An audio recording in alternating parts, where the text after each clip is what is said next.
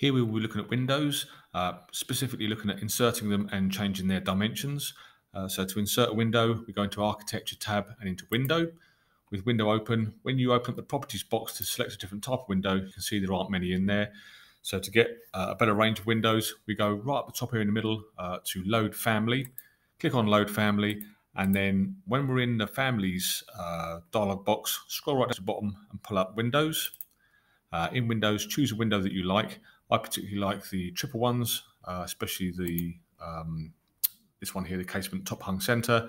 So open that one up, and then once they've in, uh, loaded in, pulled your properties box, we've now got uh, a range of these uh, triple casement windows with some different sizes on there. Um, I can just go ahead and select one of those. So if I was to pick um, this one here, for instance, 1810 wide by 1210 high, uh, and place that somewhere, I can actually place that window. You'll notice that Revit will actually center windows as well. We'll snap to a center, as you can see in this, this point here. So if you want to center something up, you can.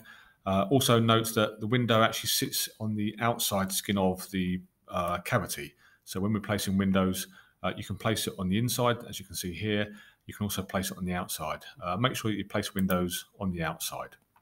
Um, once we've uh, got our window inserted, we can go back to our 3D view, and then you should be able to see um, the window sitting, window sitting in uh, our view there. Um, to actually change their, their dimension or, or, or the shape, um, we can go back into our ground floor. Um, if we select that window there, for instance, and pull this down, we can see this is an 1810 by 1210. So that's 1810 wide, 1210 high.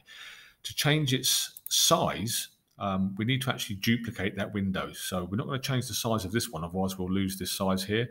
So to change the, the, the parts of the component of that window, uh, we go into Edit Type. So we click on Edit Type for this particular window, and we've got this button on the top right-hand corner here called Duplicate. Uh, it's really important we duplicate. Um, actually, this is actually its title. This is not its size. So uh, when I retitle something, um, I like to try and keep as much of the original as possible.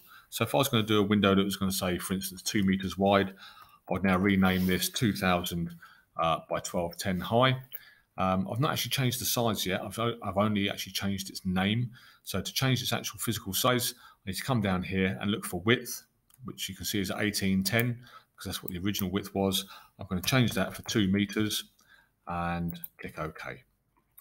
Now, I've now got this window here at two meters. You can see this one's changed size, but this one didn't because that's the old 1810 window. This is now the one that's uh, two meters wide. And I can keep on doing that for any other window or any other door or anything else. So using edit type is where you actually can start changing the dimensions of windows and doors and other components. That's it.